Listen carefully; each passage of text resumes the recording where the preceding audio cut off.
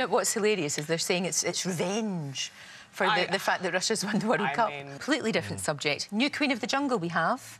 Stacey. With some people as well, isn't it? That's all that they do. Yeah. I guess. What's Wasn't that- that the funniest thing? And Shaun just got the hammer and just battered it. I thought he, his legs were covered in cuts.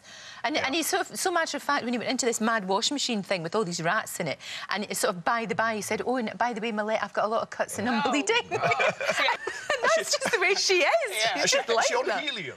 Personally, I'm quite glad Anne Widdecombe was booted out of, of Strictly because I've not really bought into the kind of cuddly wuddly national. Note is note. You're absolutely right. Now, after the snow, uh, lots of snow, um, it's going to get colder. Big freeze. And that's it. We've had it. You know. We're, So- we're over it. We're over it.